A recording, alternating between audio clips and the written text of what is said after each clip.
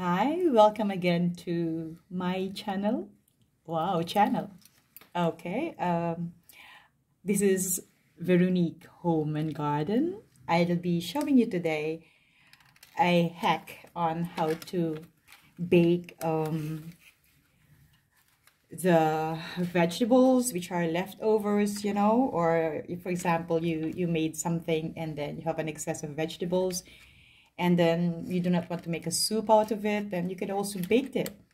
And there's one baking which I would like to show you is um, most of us when we bake or most people would tell you that if you're going to bake something you have to make you know layers and layers of this and that but for me i find it very uh, easy or it's tastier if i will first um, um, if I mixed everything with cheese, pepper, and everything, you know, the chopped vegetables, and then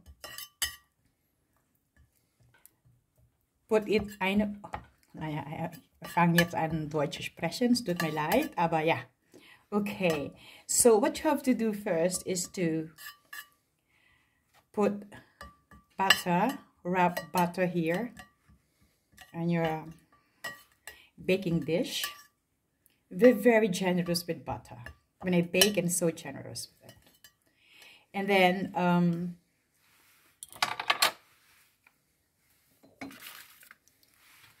you could also put, um, normally it's very nice to put a bit, a bit of, or a lot, or a bit, whatever you want, of, um, you know, garlic if you have a garlic presser, it, um, it would be very helpful at the beginning because you see I'm from the Philippines and we just we just hit everything, you know, and we do not crush garlic. But but then um, I resisted this for a long time and then I learned how to use it. And I would say that if you can buy one, buy it and buy a very good one. You invest um, in, a gar in a garlic press because it would really, really help you. My butter is a bit hard, you know, because I didn't know that I'm going to bake. Actually, it's already very late. And then I found out that I have excess vegetables and I do not want to throw it. And I do not also would like to make a soup. So I'm going to bake this for tomorrow. You know, baked dish. It's always very good the next day. So you would see here, I have here vegetables and this is already mixed.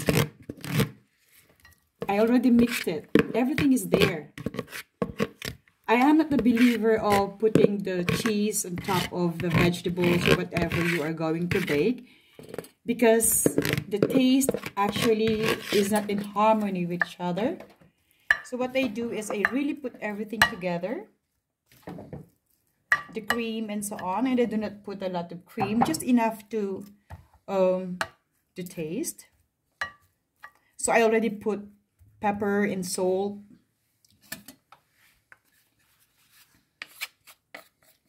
Because later when you do this, this is from the Philippines, this one I took here. So I brought this home to Germany. So if you put the cheese together with the vegetables and the pepper and cream and everything, and when it's baked, you, you have the harmony of the taste. It is not separated from each other. So I, I prefer it's it's more tasty and the taste is more interesting. So you give it a try, just mix everything and it's easier and maybe I have I need 170 centigrade in the oven 20 25 minutes and it's done.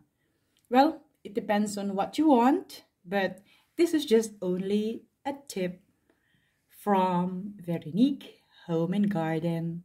Ciao. Thank you for listening